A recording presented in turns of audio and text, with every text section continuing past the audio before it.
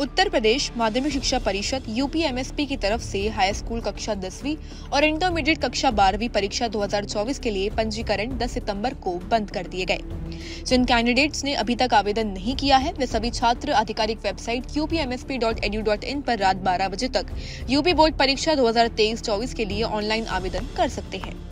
जो छात्र अभी तक ऑनलाइन रजिस्ट्रेशन नहीं करवा पाए हैं, वो अभी भी रजिस्ट्रेशन करवा सकते हैं। लेकिन उन्हें सौ रूपए का चालान भरना होगा। जो छात्र परीक्षा के लिए सफलतापूर्वक पंजीकरण करेंगे, वे 14 सितंबर से 20 सितंबर 2023 के बीच अपने आवेदन पत्र में आवश्यक बदलाव कर सकते हैं। बता दें कि यूपी बोर्ड कक्षा नौवीं और कक्षा बारहवीं के लिए आवेदन प्रक्रिया भी 10 सितंबर को समाप्त हो गई। और कक्षा नौवीं और ग्यारहवीं के छात्रों के अग्रिम पंजीकरण फ़ीस पचास रूपए के चालान के माध्यम से जमा की जाएगी। उम्मीदवारों द्वारा ऑनलाइन अपलोड किए गए विवरण की जाँच 11 सितंबर से 13 सितंबर 2023 तक की जा सकती है।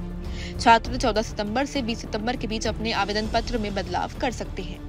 आपको बता दें कि यूपी एमएसपी ने पहली कक्षा दसवीं और बारहवीं के लिए प्रैक्टिकल परीक्षा की तारीखें घोषित कर दी थी और यूपी बोर्ड परीक्षा तिथि 2024 के अनुसार प्रैक्टिकल परीक्षा 21 जनवरी से 5 फरवरी 2023 के बीच आयोजित की जाएगी।